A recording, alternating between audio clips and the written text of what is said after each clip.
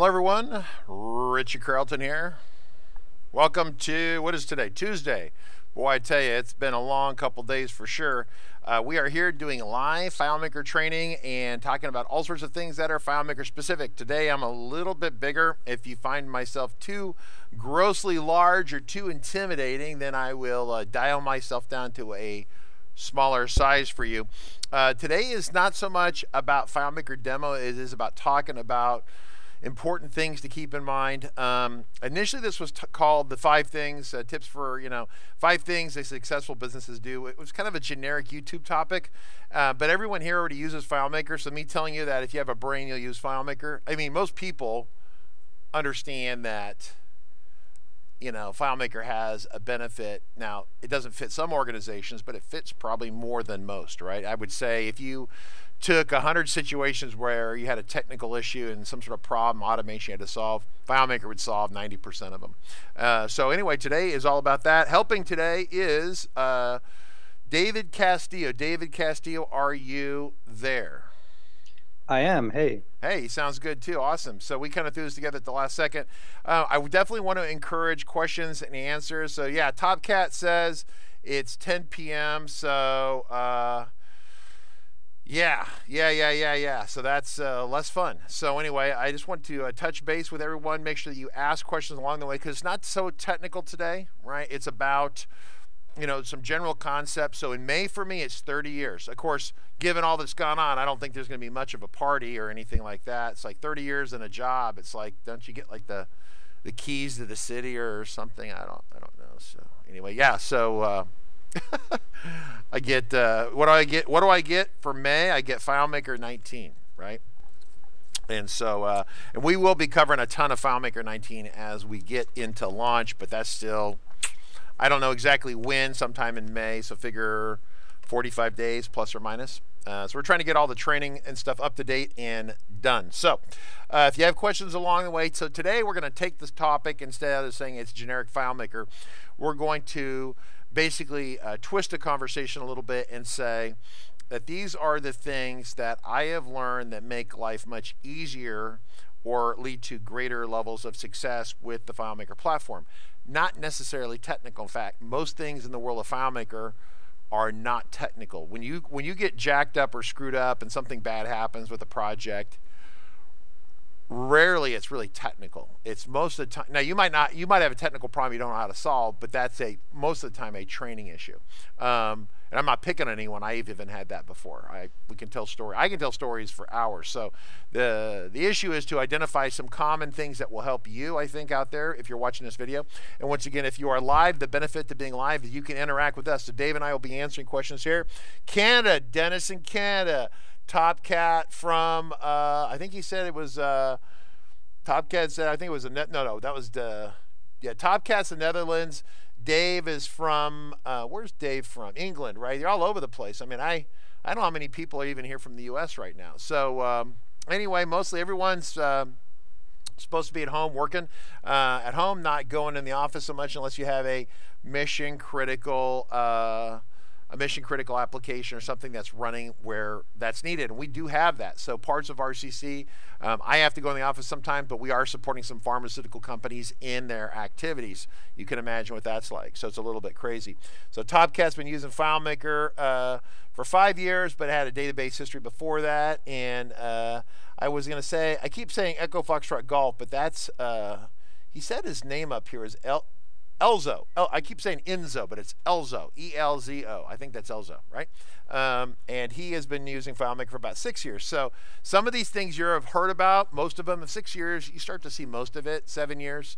Um, so let's kind of dive into that once again. And David, you can help me, and then. Uh, and then uh, Ed, uh, Ed is there, and uh, Rick is Richard is large and in charge. Yeah, I sorry about that. So if you want me to be smaller, just let me know. But it's I'm not really competing for space with uh, FileMaker at the moment. Now, if something happens, we need to dive into FileMaker. I'm completely prepared to go down that road. So um, what I have over here is kind of a slideshow, um, and so. These are just things, they're not in any specific order. Uh, these are just tips and, and thoughts and processes. So in the world of FileMaker, but this goes for any technology that you're going to roll out. And I keep throwing this cord over here. It's supposed to say behind me. There we go.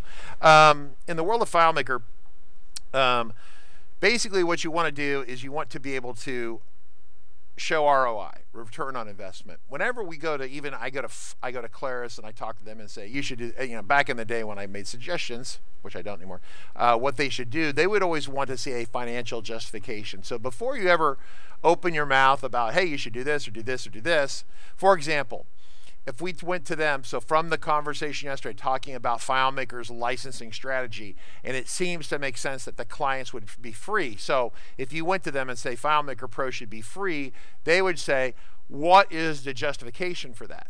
And the justification would be um, what you would say is that, well, more people will use the product locally on their devices. You'll have a greater grassroots effort. Not that they care about that. You'll have more people using it, playing with it, getting applications to work. And then when they start to share them with a team, then FileMaker slash Claris would collect money. And that would be, that's great words, but they, but, but some companies like Claris they, that doesn't matter to them at all. They want to actually you to tell them exactly how much money they will make plus or minus a million dollars.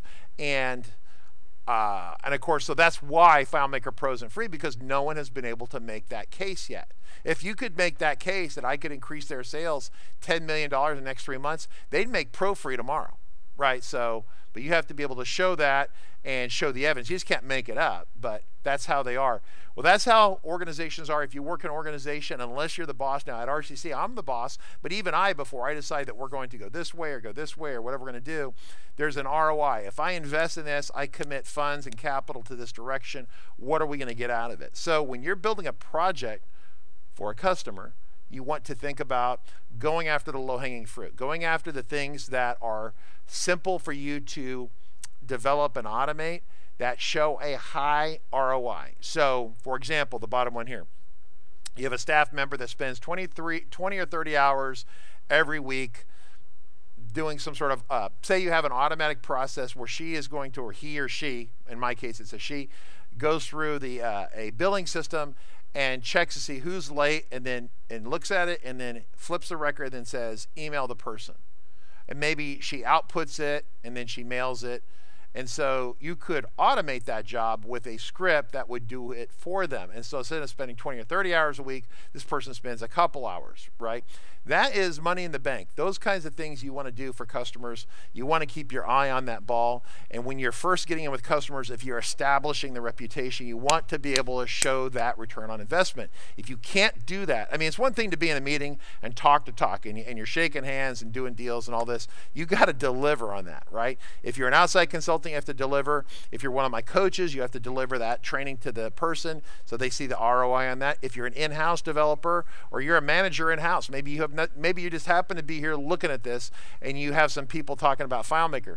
Those FileMaker people, if they have a brain, will actually go after a process or an automation where they can automate something and save the organization money time or money, which are the same things, or they somehow speed a process up, which allows you to get to market faster, right? Makes sense? So that's kind of a topic there. Um, hey, John from Pennsylvania, right on stuck at home, time to improve FileMaker skills. I can't tell you, John, how that makes me happy that when you say things like that. And of course, once again, here I have to put on my radio announcer voice. this live training session is sponsored by FileMakerTraining.tv or FMTraining.tv, where you can get the latest in training resources inexpensively. Visit FMTraining.tv. Okay, so that's that.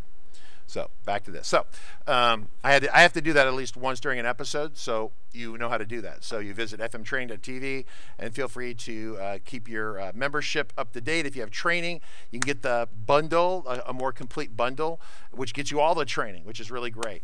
Um, and so think about that. So next item on the list, if I go down my list here, so remember, okay, so back up. I want to hit this. ROI, the bottom one. If a staff spends 20 or 30 hours a week and you can automate that down to five hours, no one says no to that unless politics are at play. And office politics are like a constant of the universe, right? I mean, people could be dying and you'll have people who hate Trump up his ass about stuff, right?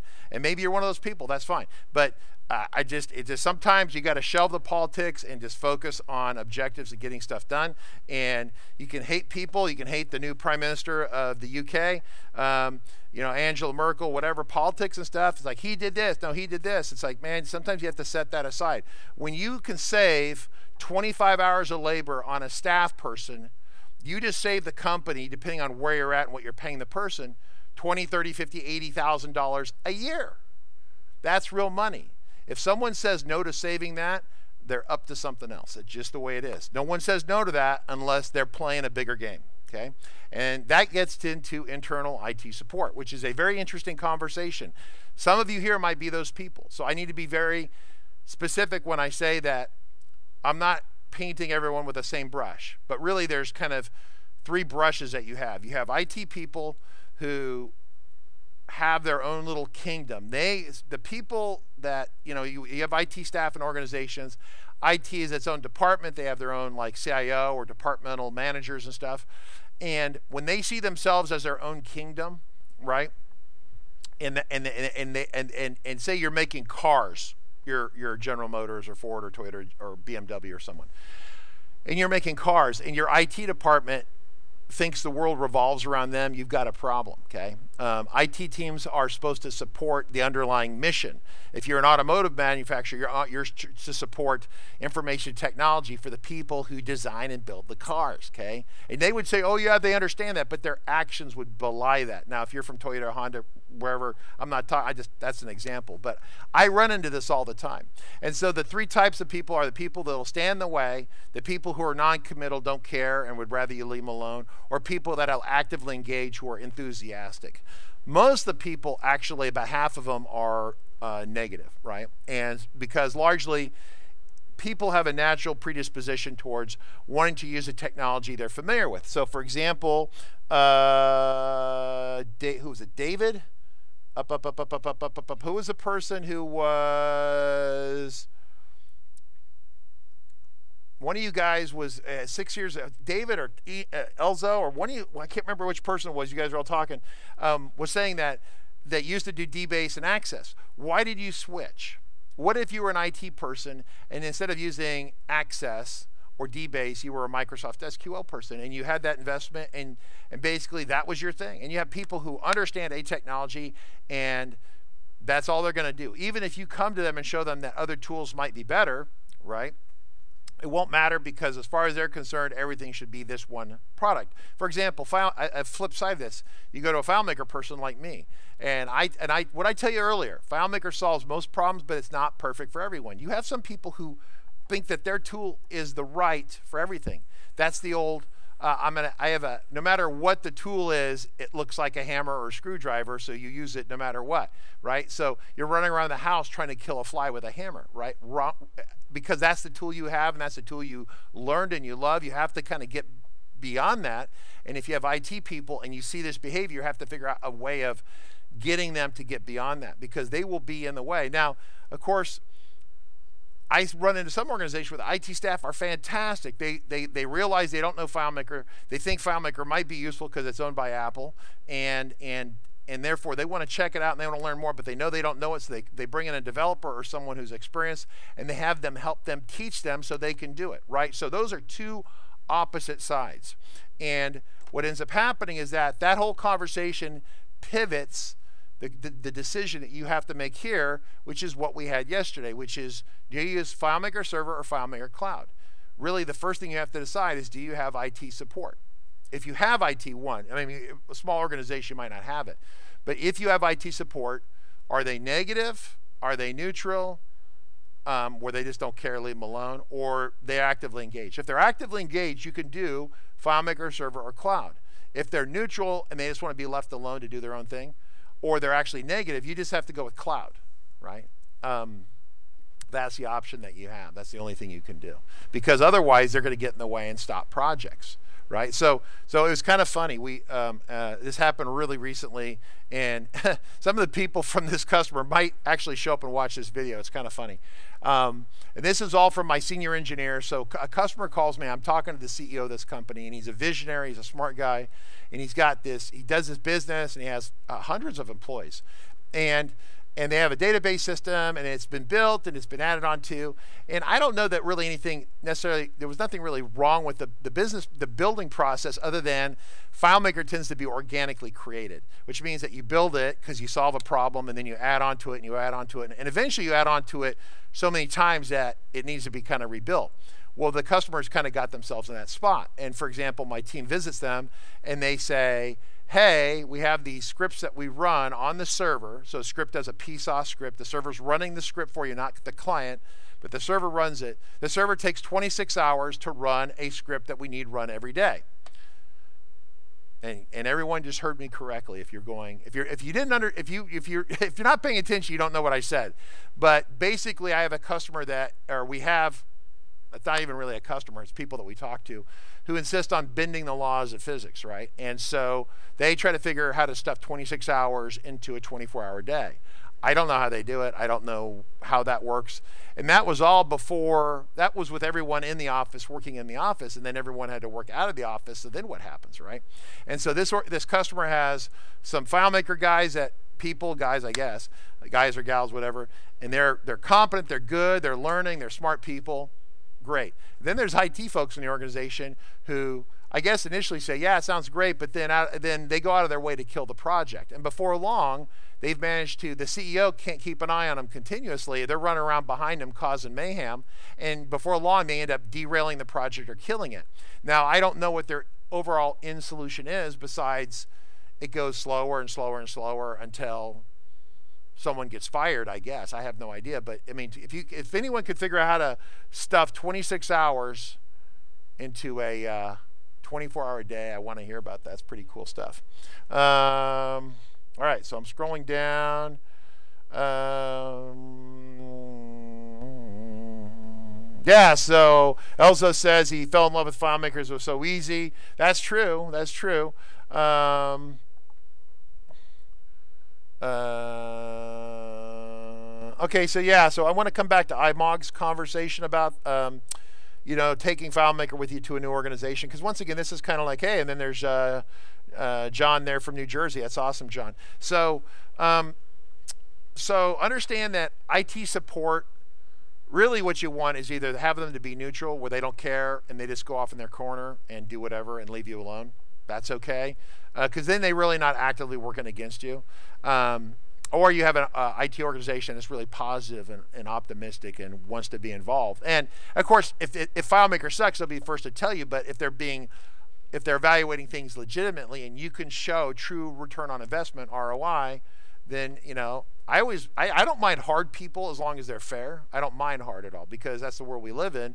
And if I can't show that it make it's it's good, it makes you money, it saves you time and money, then you know, then I shouldn't be here. So, um, and I think all of you kind of understand that. So, um, so John's working on stuff, and uh, and so IMOG had a question, and I, I guess we could dive into the conversation now a little bit. So, a lot of times, FileMaker, and this gets back to what I try to explain to Claris, and they don't get it.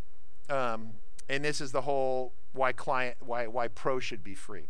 Um, so iMog is a classic example of why FileMaker Pro should be free. So um, so here's iMog. iMog's a guy has probably his own copy of FileMaker Pro. He doesn't probably have server, although he probably should go and get the $99 copy of FileMaker developer subscription, which gets you a server with three connections. It's for development specifically. 99 bucks a year. It's good money to spend. In addition to the awesome training that you can see here at fmtraining.tv. In addition, however, back to topic. Um, if FileMaker Pro was free, he could take it to the new organization. If he left an organization and went to the new organization and he took Pro with him and he had some sample files or he took them starting point, please, by all means, take them and show starting point. If you want to take credit for it to help get it in the organization, whatever works for you, okay? Uh, But the point is, is that take them and show them something and get them engaged. And if you had Pro for free, you could legally do that, right? You could take it to the organization, you could install in some people's machines, they could play with it. And then the organization would say, wow, well, we want to try this in a shared mode, right? So then you could get a trial if you wanted to, but but probably you just buy a five pack for a thousand bucks or whatever it is. Um, depends on whether it's server or cloud, and you get them running on that. But it's a conversation that starts for free because iMog has taken the conversation, taken the initiative, gone to them, and FileMaker has empowered him to take it there and to show it without him having to try to, well, I took this copy of FileMaker from my previous employer and I never really uninstalled it and I had it on my personal computer and I guess I should not have it anymore because it was licensed to them. Why have that conversation? So iMog is your advocate. He's selling it into the new organization because he's an advocacy of FileMaker. So this is an ROI conversation. What would what might iMog do? He could sell it a 30 or 40 seat license to FileMaker. There might be $5,000 that FileMaker wouldn't get otherwise. And that's on an annual basis, right? Maybe it's 30, 40, uh, who knows, right? But then and that then that generates more advocates because some of the people in the organization, assuming they they're not IT and they don't hate you, they see the value of it and they go, oh, that's really great. But then they leave that company and they go somewhere else too. And it kind of spreads like a stupid virus, right? It gets sticky on people. Success spreads. It's like it when you're successful and people want to touch you and be around you. It's just the way it is, right? When you're successful, people want to learn from that. If iMog is successful, he goes in there and they see him be successful. Everyone's going to want to be like iMog. They're going to want to be like David. They're going to want to be like Elzo. They're going to want to be like all you people here. Um, and so you want to be successful. So cool. Um, yeah, so iMog, you could do the 98. So he says, well, what if I just do the $99 deal? and then that would give me the basic server and it gives me three connections. Yeah, if I really had to, I mean, listen, FileMaker's cloud demo right now is a real mess. Um, if you buy it, it works great, but if you try to do the demo, it works for two weeks. If you can get it to kind of you got to get a hold of them. They have to kind of bless you with it. There's no automatic process where you have to actually get a person there to actively, directly engage with you. Um, and so my suggestion is, as much as it would be great to have cloud, see the reason FileMaker doesn't want to do, because every time they spin up a Cloud 2 instance, once again, this is, nah, nah, you can draw your own conclusions. Every time they spin up a Cloud 2 instance, they have to pay for that. Now what, now, what kind of deal does Apple get with Amazon as a discount for spinning up a demo on a machine for two weeks or four weeks? How much did that really cost them, right?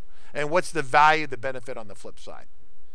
Anyway, so uh, given that, that that won't be easy to do, the easiest thing to do that's why I bought it. I bought the product because it was just easier to buy it and quit arguing with everyone about the demos, right? So um, get the FileMaker FDS. It's a legit one-year legal license for server, three connections. As a developer, you could use it to develop and to obviously demo and show the customer. Once the customer wanted it, then or your new employer, whoever that is, then you would they would buy a five-pack or ten-pack. If you need help buying and you want to get a, a deal on the sale, send us an email send us an email to support at rc consulting. And ryan correa i have a dedicated sales guy. He will he will save you some money. I guarantee he will give you a deal especially if you tell him you're from our live training and say hey richard says i can get a deal. Okay? So uh, moving along um, so types of projects right? So i'm going to cover something here. If you're internal then maybe this is not such an issue um, unless different groups are paying your time within the organization. But the idea is that there's two kinds of, well, historically there have been two kinds of development processes. One's this waterfall where it's kind of like almost like a government contract, or at least historically the government contracts of old where um, I don't know how it is these days with the way things are going because the government's moving at kind of high speed. But historically, the U.S. government, I know, in the state of California, historically, painful organizations to deal with. Um, they will write a specification and then they will um, write this long document out pages 25 pages or something right and, and then and then they will have all these and all these requirements in there then you have to put a price on it and everywhere where they're kind of vague in there you have to kind of guess how much that's going to cost and you got to put it in there. So then you have this locked on kind of cost and development. That's called a waterfall process. Uh, waterfall is typically how people control costs It's not how they have the best product.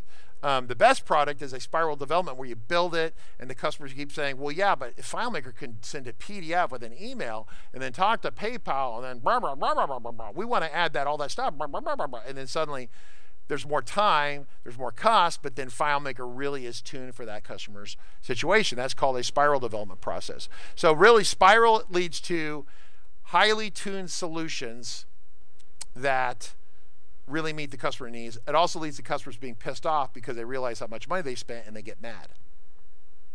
Um, the waterfall process, you know how much it's going to cost, but in flight, if you want to change a bunch of stuff or whatever, it's a paperwork nightmare, and most people just try to avoid that. And then you end up with, well, you asked for this bologna sandwich, and you had no idea I could make roast beef for you, right? But you got bologna because that's when you wrote the spec, it's all you said in the specification. Now, the alternative to that is some processes kind of like agile, and agile is strictly speaking, is it has its own set of rules. It's interesting. Um, I try to do kind of like agile, agile light, something like that, kind of a mix of agile and those other processes. The idea is, is that the customer says we want to do some work, and we let the customer give us a fixed cost quote, or we will provide them a fixed cost quote, but only for a little nugget of features, not for the whole solution, only for a couple days of work, maybe a week of work max. We will give them a quote high and low frequently. That way, then, what the range is depending upon how they behave, like if they start, you know. And of course, what this does, very important for both the both the customer and the developer. I mean, even if you're in house, you want to work with people, and you need to manage their expectation when they're going to see it. If you're an outside developer, you have to manage when they're going to see it and how much they're going to they're going to they're going to pay. So really, you want the customer and the developer to be happy with that. And so the trick is is to if the customer had everyone's different. And I like I have a customer who makes manufactures aircraft, like giant aircraft and fighter jets and stuff like that. You can guess who that customer is. Um, you take you three guesses to get it. It's not. It won't be the first couple you guess. And this man, this customer is interesting because they like fixed cost quotes, but they don't like to provide the details up front. And and they don't like and they like it to be sufficiently vague, so the developer takes the risk that's really it gets back to these other ideas where you've seen in books and i could i could get into it here but it's kind of like uh, what they want this to be a win-win situation right? And there's these uh, books i could bring it up but the, there are these different ideas where like i've had met with business people before their idea of winning is when you suffer okay? They get what they want they pay the lowest price possible and and you give them free stuff okay those people are extraordinarily short-sighted. They just are, um, and and they might be super successful in the world, but no one wants to work for them. So, in some ways, and I have some customers like that, and we've kind of slowly worked away from those customers, and and and so you run into this situation where the win-win is where the customer provides the best information they can and they try to be reasonable and you try to do your best to provide them value and then you meet in the middle when you know like if you have a little one week process you know like what if it's a six month project? You break it into weekly or two weekly two weeks at a time chunks and then you kind of stop and review and that gives you time to adjust the course right? So if you learn that the customer tends to um, add items that they never discussed before and they're not in the spec, then you have to learn to manage that. Well, it's better to learn to manage that two weeks in or four weeks in to a six month project than at the six months when it's over. Because at, at, two weeks in, it's early, you can adjust things. I'm just telling you, it's there's things that you learn in business and you really like, you really value the customers where it's a win win. And like I said, I, I've dealt with customers.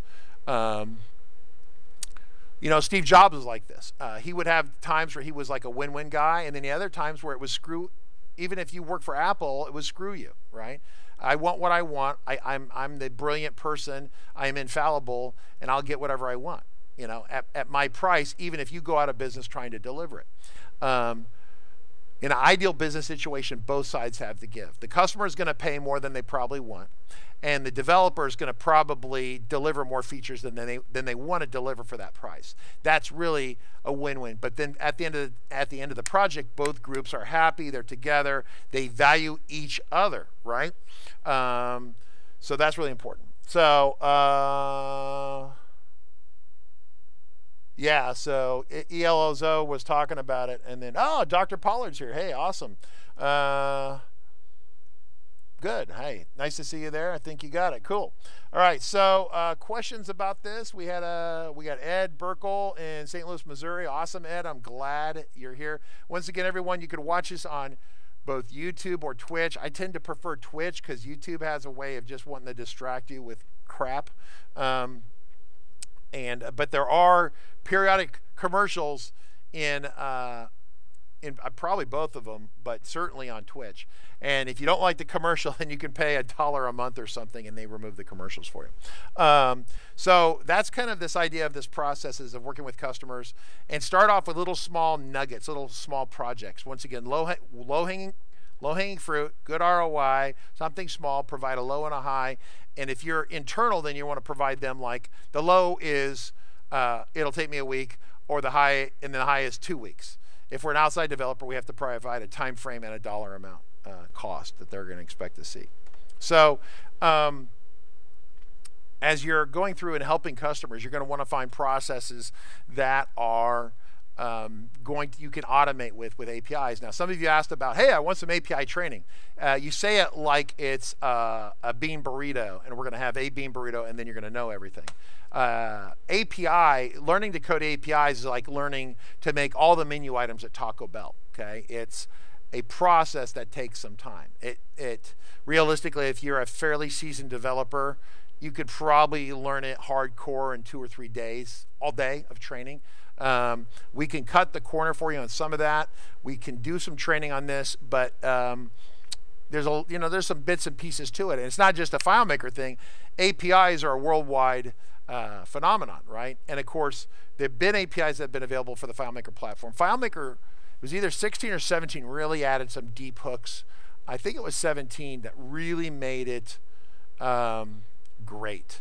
Really made it great. Uh, they they uh, they added the curl options. Once again, if you don't, it's just basically when you communicate with APIs back and forth, in plain English, the API is a communication. You're, you're, sending URL commands like HTTP, blah, blah, blah, to their server. They do something and then send that back to you, right? Um, at the end of the day, that's kind of what APIs are.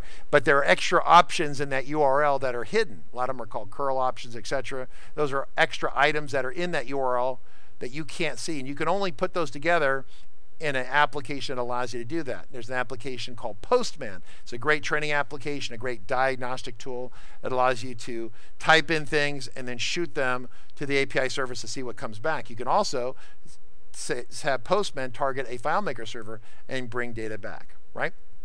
Uh, very cool stuff. Uh, so that's really neat technology. Claris bought a company called Stamplay, and they uh, it was a very kind of a basic uh, technology uh, platform that was based in Europe. And it had a bunch of canned kind of uh, API capabilities in it. And Claris is busily trying to engineer and bring it into the platform. Um, it was soft launched by Claris, I don't know, three or four weeks ago. And the reality with that product is, is that it's still really new. It was soft launched because it really wasn't ready for prime time. Um, I think if it was debugged and ready, um, then um, it would have been big fanfare and marching bands and all this kind of stuff. And basically, they'd promised everyone they would ship it. And so instead, instead of pushing it back um, and missing the deadline, they shipped um, kind of a buggy application. Um, so it's uh, it's kind of pricey. Um, I think I don't know. I mean, I guess it it depends on how you compare it with other things in the market. Depends what you need to do. But if you're going to say do an API uh, say you want FileMaker to talk to PayPal. Um, you could look at what the cost will be with Claris Connect. You can look at what the cost will be with, um, for example, uh, Zapier is a third-party service. So Claris Connect is designed to compete with something like Zapier. Zapier is the mature product and market that um, basically everyone is chasing right now if you're at least in my opinion. I mean there's other things that are out there. I think microsoft is doing some things. And i think filemaker or claris is primarily chasing microsoft on this a little bit. A lot of times filemaker is ahead of microsoft but in this area they're behind. The, api i mean being an api providing service right where they say hey you know here's claris connect. The idea with claris connect is that oh i want to do paypal. Okay then you drag it over here and, and it integrates and you can connect the scripts and do the stuff. Um, I just know that when they were getting in, in launch mode, we launched it the next day. Uh, we were ready to demo the product, and uh, Claris basically went into our demo files and deleted all our demo files and uh, basically erased our accounts so we couldn't demo it the next day. And then they told us we had to buy it, which was really awesome. So, um, once again, how to piss off your uh, your sales team that's free, right? If you have developers and they help your product and they're free, um, then you just don't want to antagonize them unnecessarily. At least that's my strategy in life, but I ain't in charge. Okay, so um, anyway, so it's really kind of fun. Um, live code is interesting. Um, I guess we can bring that up. Uh, so, ah, yes. So live code um, is another development platform. It uh, I guess in a lot of ways comes from the world of HyperCard way back in the day. I think there's some lineage there, or was real basic, and before that it was HyperCard. But basically, a live code is a cross-platform development uh, platform. Um, FileMaker Go can make really great um, native iOS applications. It doesn't do native Android at all, zero. And so, we when we built a, I built a training app for a uh, basically a law enforcement operation. It did uh, instruction and training and security. And what ended up happening with that is that they we ended up using. Uh, we were thinking about using FileMaker Go, but FileMaker Go really doesn't. You know, if you use the iOS app SDK, which is how you take Go, you bind you bind the application together and you put it in the Apple App Store. Except Claris came out and said, "We don't want you to do that because we don't we don't want you to do that because we're scared of that and we don't want to do that." I'm like, great. So so we dumped FileMaker, RCC dumped FileMaker on that, and we built the application with LiveCode uh, on on the Android platform specifically. We use an application called Titanium for um, on the Mac on the iOS side, but in retrospect, we should have used LiveCode for all of it. And uh, we had to have put a plugin in it. So LiveCode is interesting. So once again, we largely love FileMaker, but between politics and decisions and things like that, it's not always the best tool for the job. So, questions um, from other people. Let me see if I have a slide below this. I don't know if I have a slide. So, uh, other other tips and, and, tricks to keep yourselves out of trouble. Uh, the benefits and behaviors of a great developer. Understand this is where experience comes from. If you're brand new to the FileMaker platform, or you're kind of a low time uh, person in general, like you're 25 and you've been in the IT business and you think you're the cat's pajamas, like you're that awesome, there's things you're going to get hammered on and you need to learn from that. So, first off, is that if you run FileMaker Server, make sure you have backups.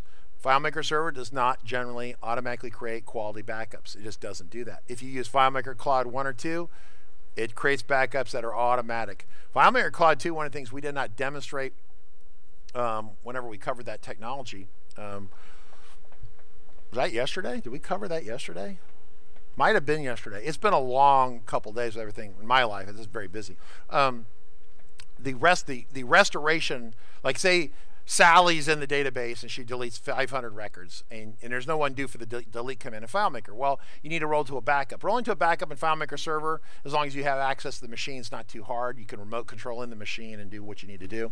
FileMaker Cloud 1's a pain in the butt. It's one of those areas where FileMaker Cloud was really painful. Cloud 2 it is a snap. It's easy. It's awesome. I really love that about that. We didn't demonstrate that, but it's like really awesome.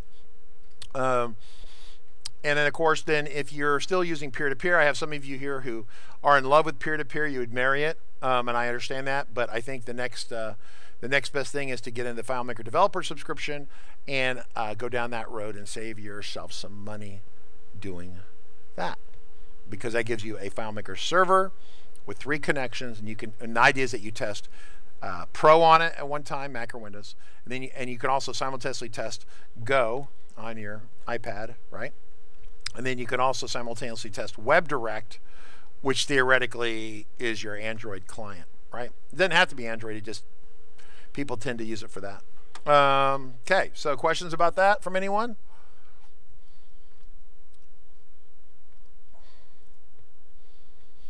Are expenses charged on top of the cost of doing a project? Um, that's from Elzo. Hey, David, are you there? Am I hearing you?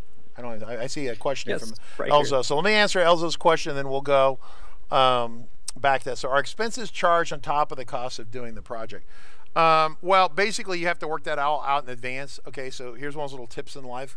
Customers don't like surprises. Okay, if you're in house, they don't like surprises. If you're a developer that's outside, like myself, they don't like surprises. And so, if you have expenses, you foresee expenses, then you need to let the customer know in advance and they can decide to pay the expenses or not. If they don't want to pay the expenses, then you as a developer need to decide if you want to do the project. Once again, we're back to that win-win quadrant, right? Not where the customer uh, loses and you win, that's bad. the customer wins and then you work for free for a bunch, that's bad. Some customers think that's great, but then that results in you not wanting to ever work for them ever again and they lose access to that resource. Um, cool. Uh, Jacob Taylor. Oh, there's Jacob going. Okay, Jacob is here. Hi, Jacob. Woo! So he's our in-house ace hitter. So uh, if you have questions about um, server, uh, Cloud One, Cloud Two, any of that kind of stuff, you want to send support at RC Consulting. Jacob will uh, see that message and respond to you. If you need help setting up servers or dealing with that kind of stuff, he's the guy we're going to send to you. Okay. He's not free, to be clear, but he uh, he's one of the best I've ever seen in this line of work. Just in terms of just dealing with servers and the management of that. I mean, I'm just one of the best people I've seen. Uh, really happy to have him at RCC. So, uh, other questions? I, it might be the end of the slides here. Yes, I'm kind of towards the end of my, my slideshow here um, in terms of what we're doing. Um, and it's about 45 minutes after the start. Um, and so let's see. So questions go on. David, questions? No questions on my end either. Okay. So once again, the videos, uh, YouTube or uh, F, uh, Twitch should be 1080. You can do 1080 if your internet connection will allow for that. Um, we are broadcasting on 1080. So I think Twitch by default is always 1080. And then over here, I'm looking at um, YouTube in its super low resolution just because I think it's doing it like it uh, it's doing it 144 which is like the resolution of a nokia phone in you know 1995 or something. I don't know. It's so uh, actually yeah i'd be about right 93 94 95 yeah. So super low resolution but allows me to kind of see where we're at. So questions uh, from anyone? So yeah john with an aws server 5 pack. So so you want an AWS dev server. Okay, I missed the conversation. Uh, okay, yeah. Okay, so uh,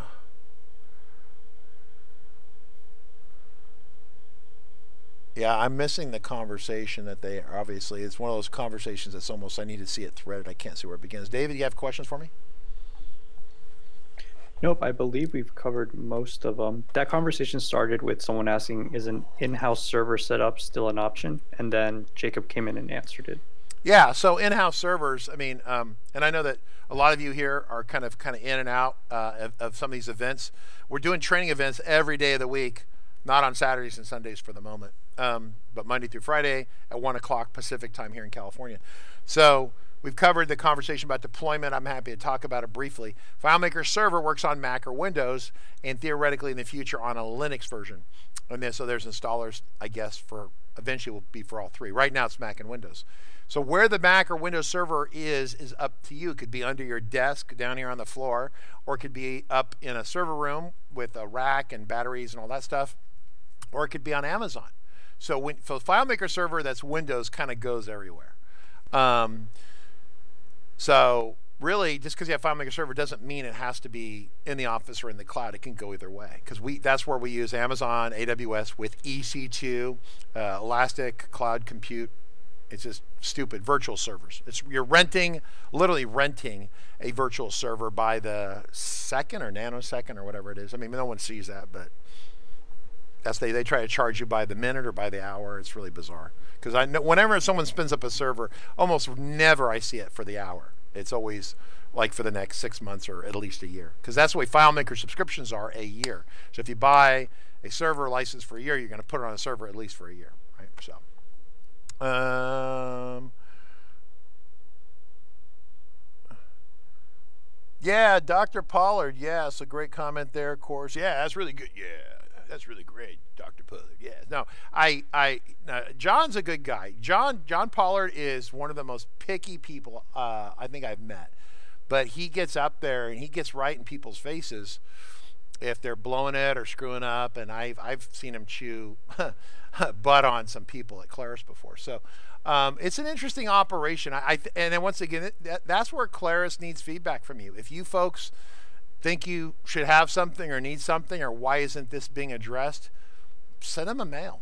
And if you don't know who to send it to, then look up their company directory and see who the executive team is and pick the executive you want to mail it to and mail it to them. Don't tell them I told you to do it. Just do it, right? Um, because a lot of times you'll send a message to someone, and if you can make a pretty articulate case, especially to a senior executive, remember most of the senior executives at FileMaker don't use FileMaker at Claris, right? They don't use it. They don't sit there at home. Like right now, they're at home or wherever they're at, they're not using FileMaker. There's no way. Um, they're too busy being executives at Apple, right? You know, meeting and meeting and PowerPoints and I'm sure Word files and keynotes and whatever else they do. But um, you know, I used to see Dominique, who was a former CEO at FileMaker. He was in Excel all the time, running price analysis on how much he should charge and stuff. And I understand Excel having a value for that in that kind of situation, but I think X, I, I think if Dominique had to build a FileMaker app, I think he'd have choked, right? So, um, which is really too bad. I mean, I, I, I like to see managers who, it's it's like the, uh, God, it was the, it was the. Uh, was a Samsung vice president or president, someone. It was about a year ago. And he was sending message, Samsung's great, Samsung's this. And then down below, he, he wasn't the swiftest bulb in the operation. The message said, sent from an iPhone. Because that's that little default setting on the iPhone where it says sent from an iPhone. And so he was talking about how great Samsung's were. He's using an iPhone to do it. Yep. So that's like driving around in a in a in a uh, BMW telling me how great a, a, GM is, right, or something like that. It's just, yeah. So anyway, all right, cool. I'm drinking my water, trying to stay hydrated. So tomorrow, let's talk about future training here, right? So I'm to go ahead and close this out. So I'm going to close that. I'm going to hide. Uh, once again, I have my button here. I can hide all the icons on my desk. Wait a minute. Didn't, is it not running? Where's that at? The application is called Hide hide hide me pro and I make sure it's running. Maybe it's not running, and I have a, a sh keyboard shortcut on my one of my function keys, and so it hides all the other items on my desktop, so I'm not distracted by them. Yay! Right? I'm going to go ahead and make myself super small. Complete with sound effects. Now, tomorrow is an interesting day. Tomorrow is April Fool's. This is the schedule. Um, and we also have previous recordings that are available. Um, so tomorrow is going to be April Fool's. Tomorrow is a lot like an open-ended conversation. So if you have specific questions, that's fine. We're going to talk about things not to do, more technical in the FileMaker platform. Um, areas to stay uh, out of trouble. That would be great. Um, and today, of course, obviously, five habits of successful business. More likely, the uh, 20 good things to do if you're a FileMaker advocate or developer and you want to be successful and you want your customers, uh, even in house or out of house, people to like you and love you. Um, just basic. I would assume it's common sense after 30 years, but I've seen brand new people I hire have no clue about it. And I remember back in the old days when I was like 24, I was like, had no clue either. But yeah, that's what, when you get old, you learn all this, but then you're old, right? So. So, uh, yeah. So, anyway, so that covers it for today. If you have questions about topics, we have the topic schedule. Okay, I'm going to go and pop this up so you folks can see what's coming in the big scheme of things. If I go to FileMaker and I go to Recent and I go to CMS, this is our, this is the system that drives the website. So, this is the website. This is done with uh, Data API or PHP. This is the data that drives it, right? Um, and so I can say show future events, and these are the future events that are coming up. And once they get to a certain point, we kind of lock them in. We don't change in flight. So these records are vertical, but they correspond to the records along here. Um, and so we have the ones through relationships. We're going to go back and talk about Anchor Buoy a little bit. And then uh, the following day is an open Q&A day. Um, and we'll see if you folks have any questions. Uh, next day is data viewer. We might have to bring Calvin back for the data viewer because he's uh, a ninja with that. Uh, we have another potential uh, open uh, Q&A day here. Um, and then we're going to be looking at a brand new product that's really inexpensive and what it does for you I think saves a lot of money. Some of you are going to really like this. It's called, um, one of my engineers put it together. It's really their product. Um, and it's it has it's a free but it also 79 bucks so it's kind of it's interesting because there used to be a thing we used to do a lot of called web reporting. And the idea is that, you know, FileMaker charges a ton, really, especially if you buy Cloud 2 at the top price point, $39 per user per month. And really, it's not for public access. So, what if you want public, easy public access to your database with some sort of report um, that's secure? This tool does it cheap. You don't have to do a lot of coding. It kind of pre-builds things for you. It's really quite neat. It's called the uh, uh, it's called the uh, Web Portal Wizard. I think there's a website for it. Um, I don't know if the website's public yet. Um, definitely don't try to download it yet, but I'm just giving you an alert. I think we're finalizing the product in there, and then uh, we'll be doing web, showing, talking about web reporting um, on that. Uh, my engineers put a ton of time into it, so if he wants 79 bucks uh, for the product, you want to save yourself a ton of time and money, spend the 79 bucks. Uh, keyboard shortcuts coming up after that. I guess I could zoom in on this a little bit. You guys probably can't see that too well. So uh, that's relationships, open Q&A, data viewer, more questions and answers. Um, web portal wizard on uh, April 13th, April 14th, keyboard shortcuts, Q&A, script debugger in the FileMaker platform uh, on the 16th, and then so these open Q and A's can be adjusted in flight. Um, we can change them to uh, a specific topic. If you folks have a topic, like something pops up, or we can't get to something, then that allows us to do that uh, for you. Uh, and so we've been working the tools menu overview, and then once again, we're going to go back and officially do a custom menus uh, event. Some of you have already seen that, which case you can skip the event if you want. So we're coming up on 2 o'clock local time or the top of the hour. And uh, tomorrow, yeah, we are going to get the, the T-Rex for tomorrow. I'm going to get it out. I don't know how long I can sit here because it's like a little oven in there. And I'm going to put the headset on inside the T-Rex head and so you won't see my facial expression. You just see the T-Rex, T-Rex head bobbing around here. So uh, we'll see how long I can do that before I uh, overheat and pass out. So, um, and then what was tomorrow again? If I go to if I go to future events, oh April Fools, yeah. Okay, so wait, yeah. There's a couple, yeah, couple things that are jokes in there. Then other things that you guys, you folks will think are jokes, but they're real, right? So things not to do in your FileMaker file, right? So uh, some of it should be an April Fool's joke, but it's it's really real. It's kind of it's kind of embarrassing. You don't want to like admit to it. It's like very bad. So with that, I'm going to cut everyone loose. We've got good questions. Trex tomorrow. Awesome. I'm Richard Carlton with the help of David Castillo, Miles Skepsky, and the rest of the Richard Carlton Consulting team, including Christian Olson and Jacob Taylor, who I think are trolling around helping answer questions. You guys are awesome. Thanks for being part of one of the best FileMaker teams in the world. Seriously. Seriously, it's really quite good. All right, thanks everyone.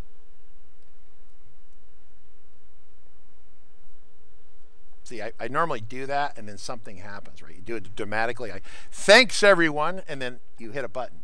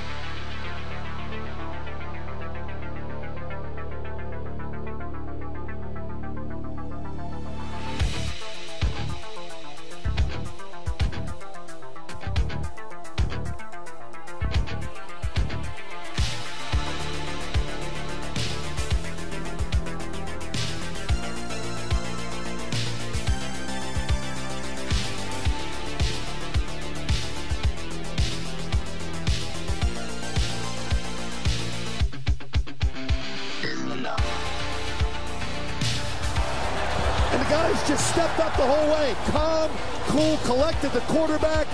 Great read. good patience. More importantly, great job up front protecting this quarterback to give you a chance. And that's all you can ask for. Try to rally down 10. 9.25 to go here in the fourth. Short motion by Amendola from the left. Brady takes the shotgun snap. Stands in, throws it left for Amendola. Reaches up and snacks a high throw and lands inside the 10. Rolling to the 9. Ball slightly behind him. Again, he makes the grab.